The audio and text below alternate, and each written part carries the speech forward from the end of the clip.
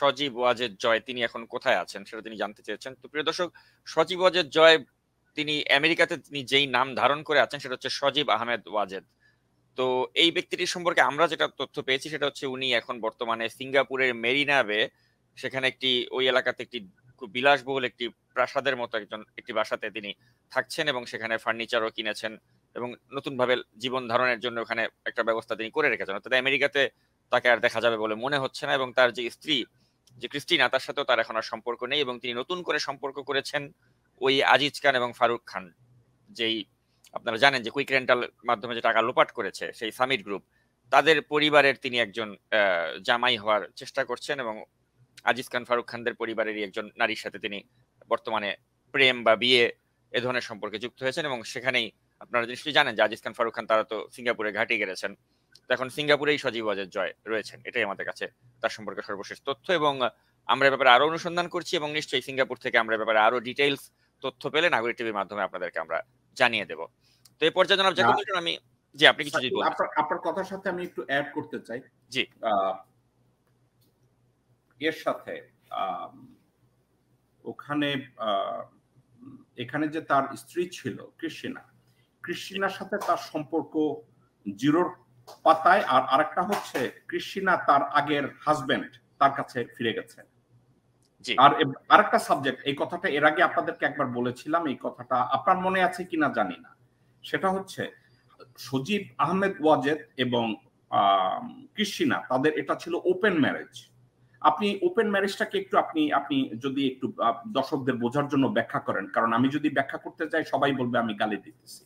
Open marriage বলতে আসলে মানে এটা বোঝানো হয় যে ওই ছেলে সেও চাইলে অন্য যে কোনো নারীর সাথে সম্পর্ক করতে পারবে এবং ওই মেয়ে চাইলেও সে অন্য যে কোনো পুরুষের সাথে সম্পর্ক করতে পারবে। অর্থাৎ তাদের মাঝে মানে সম্পর্ক থাকলেও ওই কমিটমেন্ট নেই যে একজন পরকিয়াতে জড়ালে অন্যজন যেন কোনো বাধা দিতে না পারে। সেটাকে ওপেন ম্যারেজ বলা হয়।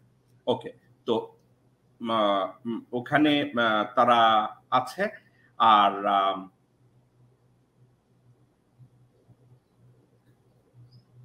আপনি ঠিক বলেছেন সিঙ্গাপুরে আজিজ খানের মেয়ে আয়শা খানের সাথে তার লটর পটর বহুদিন ধরেই চলছিল এবং এই সাবজেক্টটা কৃষ্ণিনা অ্যালাউ করেছে যেহেতু কৃষ্ণিনা তার আগের হাজবেন্ডের সাথে সে তারা লিভ টুগেদার করে বহুদিন ধরে লিভ টুগেদার করে। তো জয়ের এটা নিয়ে কোনো মাথা ব্যথা নেই। ওয়াও আপনি তো আরও অনেক ডিটেইলে জানেন।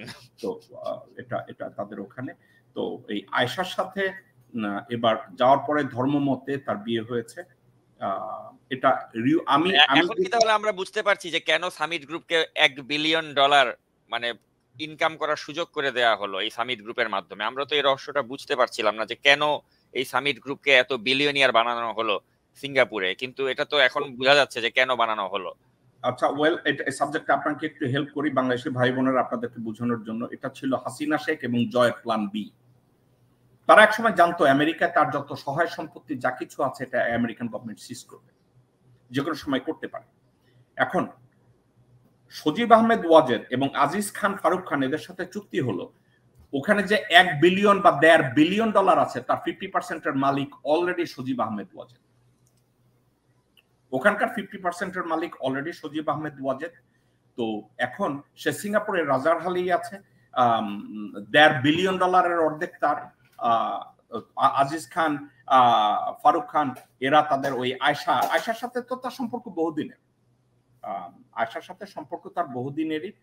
ওখানে আয়সার সাথেই লিভ টুগেদার এর আগেও করতো, যখনই বাংলাদেশে যেত আয়সার সাথে লিভ টুগেদার করতো।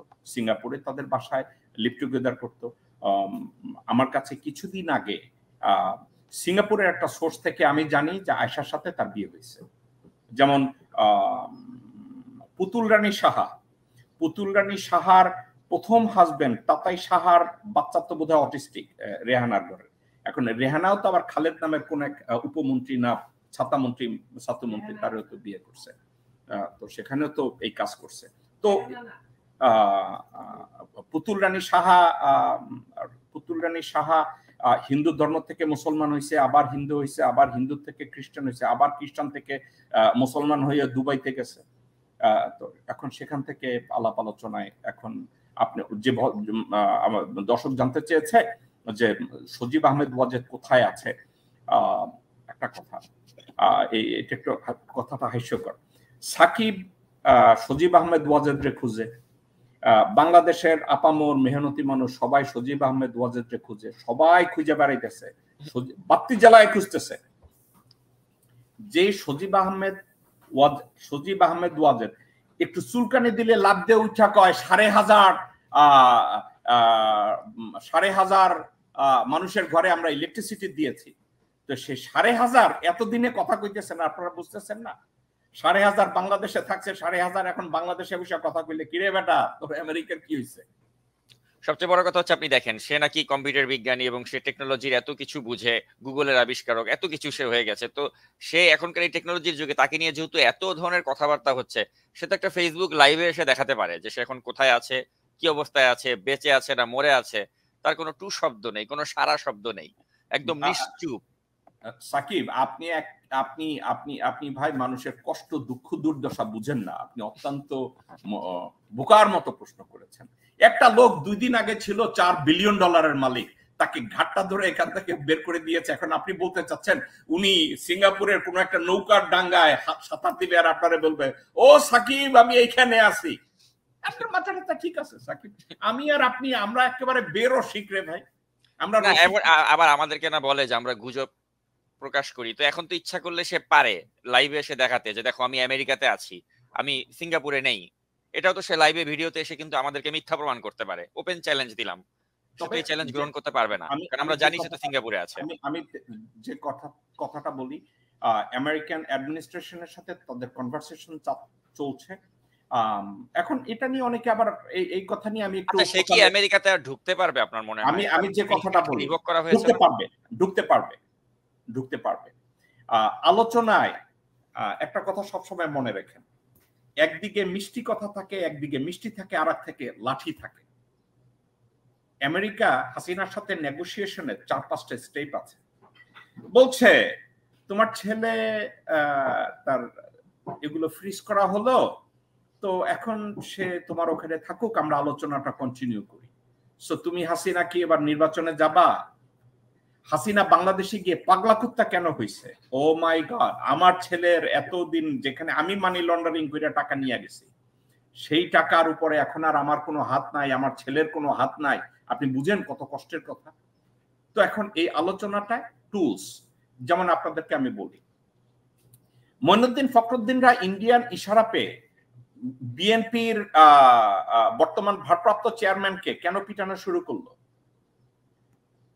তারেক রহমানের গায়ে যদি হাত তোলে, তার কোমর যদি ভাঙ্গা দেয়, হাসিনা খালেদা জিয়া নরম হয়ে যাবে। ঠিক আছে? তো ওই সময় যদি ইন্ডিয়ান প্ররোচনায় তারেক রহমানের এইভাবে ঝুলাইয়া পিটানো হয়, আপনার কেন মনে হয় জয়ের উপরে আমেরিকান অ্যাডমিনিস্ট্রেশন কিছু তেল তুলা লাগাবে না? আপনাদের এটা কেন মনে হয়? নেগোসিয়েশনের টুলস। আপনি বলছেন, আমাকে জিজ্ঞাসা করছেন, জয় কি আমেরিকায় এসে ঢুকতে পারে? হ্যাঁ ঢুকতে পারে। কিন্তু ওর তো গ্রিন কার্ড রিভোক করা হয়েছে, তাই না আমি আমি আপনাকে যেটা বললাম, সে কি ঢুকতে পারে? হ্যাঁ ঢুকতে পারে। ঢোকার সম্ভাবনাও আছে। হাসিনা যদি বলে যে, হইছে, আমার আর পাল্লা দেওয়ার কিছু নাই। আমি যেগুলো নিয়ে আলাপ ওটাকে কি বলে, আমি যতবার খামি দিছিলাম যে বাংলাদেশের ক্ষমতা আমি ছাড়তাম না, তখন যদি, এখন যদি আবার বলে যে, না, আমার ক্ষমতার দরকার নাই। আমি আমার ছেলের ভবিষ্যৎ দেখব আমি আমার মেয়ের ভবিষ্যৎ দেখব আমি ভবিষ্যতে মানুষের গ্রিন কার্ড একবার রিভোক করা হলে গ্রিন কার্ড কি আবার ফিরিয়েও দেয়? এরকম হয়? দেয়। আমি আমি আমি আপনাদেরকে বলি আপনার কি মনে আমেরিকান একটা আইনের কথা শুনেছেন আপনি? উইটনেস প্রোটেকশন প্রোগ্রাম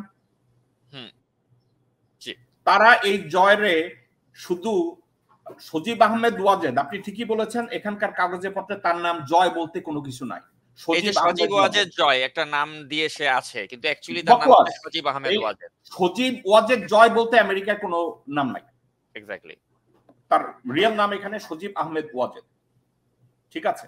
ওকে তো এখন আচ্ছা এটা আপনার থেকে ভালো আর কে জানে? আমি আমি আমি জানি। তো সজীব আচ্ছা তাকে আচ্ছা তাকে তো সাপিনা করেছিলেন নাকি? হ্যাঁ আমি জানি ভাই তার সবকিছু আমার কাছে আছে। ওর পাসপোর্ট নাম্বার ওর ডেট অফ বার্থ ওর সবকিছু। আমি আমি জানি ওগুলো ওর এখানকার আইডি আর আরেকটা কথা, সজীব আহমেদ ওয়াজেদের সাথে আমি বা সাকিব কম্পিট করতেছি না। আমার বাপের নাম ওয়াজেদ না, আর আমার মায়ের নাম হাসিনা না। সাকিবের বাপের নামও ওয়াজেদ না, মায়ের নাম হাসিনা না। এবং আমাদের এটা হওয়ার দরকার নাই। এবং আল্লাহ আমাদেরকে যা বানিয়েছে, আমরা আমাদের চামড়া নিয়ে, আমরা আমাদের অবস্থানে আমরা খুশি। কিন্তু যে সাবজেক্ট আমার জানার এবং বিরক্তিকর মুজিবের ঘরে জন্মাইছ বইলা তুমি বাংলাদেশের রক্ত চুষবা বাংলাদেশের সতেরো কোটি মানুষের ভাগ্য নিয়ে সিনেমেনে খেলবা। এটা আমরা হতে দিতে পারি না। এক্ষেত্রে আমার পাওয়ার যা আছে আমি তা ব্যবহার করব সাকিবের যা আছে সাকিব তা করবে এবং আশেপাশে অন্যান্য জায়গায় যত রিসোর্স আছে আমরা সেটা করব। আচ্ছা ওর বাড়িগুলোর কি হলো? এই যে আপনার যে ভার্জিনিয়াতে যে বাসাগুলো আমরা আমরা আমরা বোধহয় আমাদের সাবজেক্টটা থেকে সরে যাচ্ছি। দর্শকদের কিন্তু তার বাসাগুলো কি আছে? আচ্ছা, আমি টোটাল সাবজেক্টটায় আমি আপনাদেরকে বলি। বাড়ি যেখানে থাকা সেখানে আছে।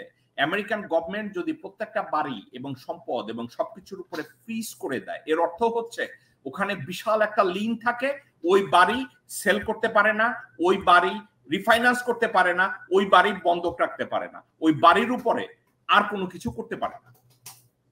এখন আপনি বলতে পারেন, ওই বাড়িতে কি সজীব আহমেদ ওয়াজেদ আমেরিকা আসলে থাকতে পারবে? হ্যাঁ থাকতে পারবে। কিন্তু যদি করতে গিয়া আমেরিকান অ্যাডমিনিস্ট্রেশন চায় যে আহমেদ ওয়াজেদ এই বাড়ির থেকে তোমার বাইরে যেতে হবে, তার বাইরে যেতে হবে। এটা একটা প্রসেস যে মুহূর্তে আপনাকে বাড়ির, আপনাকে প্রথমে লিন দিবে লিনের পরে আপনাকে নোটিফাই করবে তোমার বাড়ির উপরে লিন করা হইল। এই লিনের পরে তোমাকে আমরা যদি মনে করি বাড়ি থেকে তোমার বেরিয়ে যেতে হবে, তাকে নোটিফাই করবে। ঠিক আছে? তো সাবজেক্টটাই আর সজীব আহমেদের ওয়াজেদের সাবজেক্টটা এত ইম্পর্টেন্ট কিছু না বাট আমার কাছে সাবজেক্টটা আমার কাছে মজাই লাগতেছে। বিলিয়নিয়ার হইছে, এখানে বঙ্গবন্ধু স্যাটেলাইটের চার মিলিয়ন ডলার প্রত্যেক মাসে মাসে মেনটেনেন্স খাইতেছিল। মাসে দুই লক্ষ ডলার দুই লক্ষ ডলার বেতন পাইতেছিল।